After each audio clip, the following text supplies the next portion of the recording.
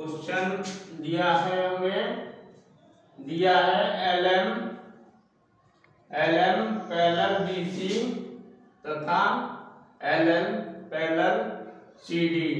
सिद्ध करना है हमें A M upon A B बराबर A N upon A D. Triangle triangle A B C में ट्रेंगल ए बी सी में L M parallel B C B P T से तो ए एम बटे एम बी बराबर A L upon L C question number one.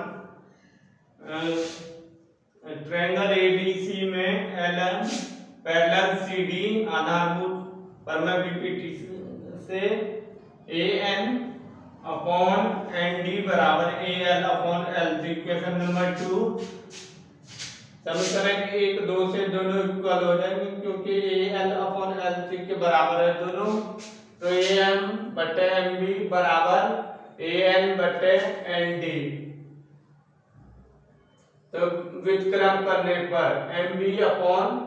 व्युत्क्रम यानी कि उल्टा कर दिए, पलट दिए दोनों को। तो M B upon A M बराबर M D upon A N दोनों तरफ़ एक जोड़ दिया तो दोनों तरफ़ एक जोड़कर एलसीएम लेकर सॉल्व करने पर आएगा। M B plus A M बटे ए एम फिर इधर एलसीएम लेकर N D plus A N upon A N तो M B plus M B plus M B बराबर ए बी के और अपॉन ए एम और N D plus N D plus N D A N plus N D बराबर A D के तो A D upon A N फिर से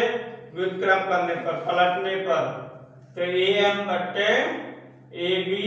बराबर ए एन बट्टे ए डी प्रूव डेट